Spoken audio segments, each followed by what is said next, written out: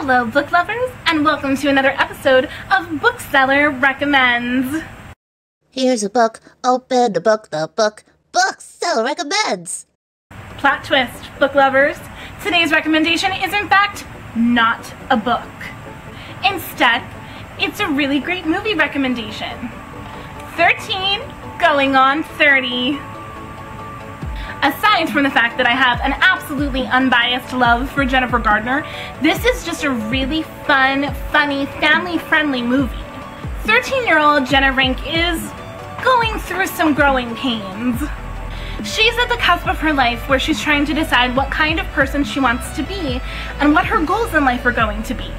The process of trying to decide what kind of person she wants to grow up into is, well, not particularly fun, and with the help of some magic wishing dust, Jenna gets to skip all of the steps. Jenna wakes up the next morning, and she is no longer a 13 year old girl, but a 30 year old woman. She has the job of her dreams. She's popular. The only thing that seems to be missing from her life is the presence of her best friend, Matty. Jenna has to go on a fun and sometimes semi troublesome journey trying to figure out how to get her cake and eat it too.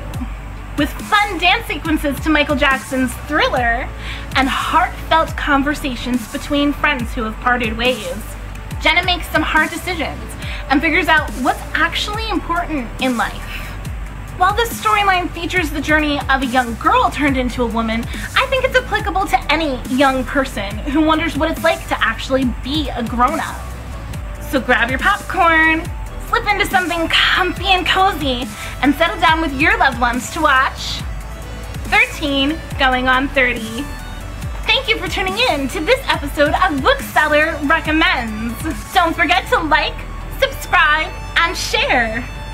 If you have any comments about this movie, please leave them below.